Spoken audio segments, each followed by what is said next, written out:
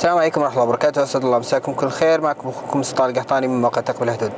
آه في جناح كوالكوم عندنا آه كوالكوم وزودت سيارة في آه مرسيدس اللي هي بنوع من المعالجات اللي تستخدمها أو راح يكون متواجد في عدد من السيارات المستقبلية، من ضمنها هذه السيارة اللي هي.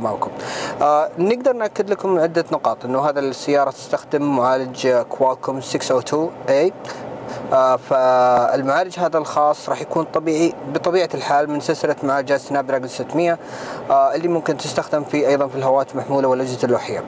آه، الشيء الجيد في هذا المعالج إنه يدعم عدة أشياء أو نقاط كثيرة من ضمنها إنه جعل الواجهة أكثر تفاعلا أكثر سلاسة فأنتم زي ما تشوفون إما إنك تستخدمها بهالطريقة أو إنك تتحكم فيها بالعجلة الموجودة بالأسفل كافة الواجهة الموجودة أمامك هي يعني رقمية كاملا آه، بما فيها سرعات السيارة الموجودة هنا أمامك أيضا آه، إلكترونية. الشيء الجيد أنه في هذه الواجهة ممكن تتحكم فيها عن طريق العجلة الموجودة بالأسفل أو أنه ممكن تتحكم فيها عن طريق تقنية اللمس الخدمات الموجودة آه، ممكن توصل للنافيجيشن إذا حبيت وتوصل لعدد من الخدمات إضافية.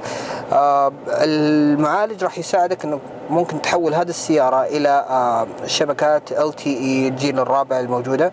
آه، فشيء جيد جيد جدا صراحة. آه، للأسف كواكم علقت متى راح تكون متوفرة هذه المعالجات على السيارات لكن آه، المستقبل يبشر بالخير أنه ممكن نشوف سيارة أكثر تفاعلا من السيارات اللي بالعادة إحنا نسوقها.